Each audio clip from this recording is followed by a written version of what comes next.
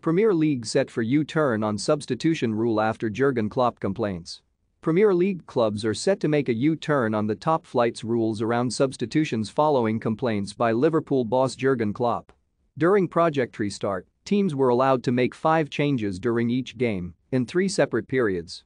But that rule was dropped ahead of the 2020-2021 season, with clubs only permitted to make three subs per match since then. That has been a frustration for many of the teams at the top of the table who have been granted five subs in the European competitions. Klopp has been a particularly ardent supporter of changing the substitution rules permanently amid Liverpool's busy fixture schedule. We played Sunday, Wednesday, Saturday, and Tuesday, that's a horrible schedule. If we can make changes, we will do that. If it's not, it's not. It's essential that we go again for the five subs, he said earlier this month.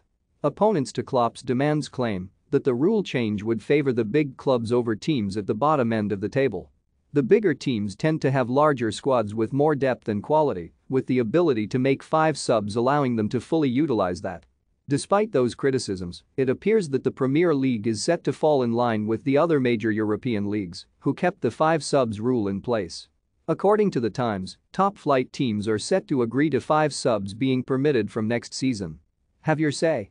Do you think the number of subs allowed per game should be increased? Comment below. The proposed change will be voted on at a meeting of Premier League stakeholders on Thursday. There is said to be high confidence that there is now enough support for the number of permitted subs to be increased and with it nine players allowed on the bench.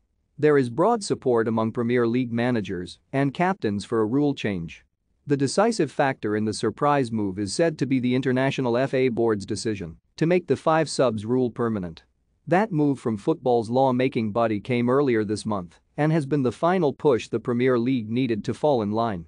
Data has been collected by leagues who have already made the change, with a vote to be taken in principle by the Premier League this week before being confirmed in the summer.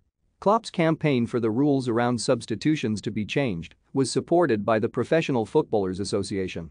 Chief Executive Maheta Molango has also pushed hard for the Premier League to increase the number of permitted subs. Our position is quite clear. It is a situation that should never have been a debate in the first place because it's a player welfare issue. In the global market, if all the other leagues have five subs and we have three, that means we will be in a worse position when it comes to the big games. We want need to start thinking more collectively and think that if our teams are thriving in Europe, that is a good thing, he told the FIFA Congress in Doha.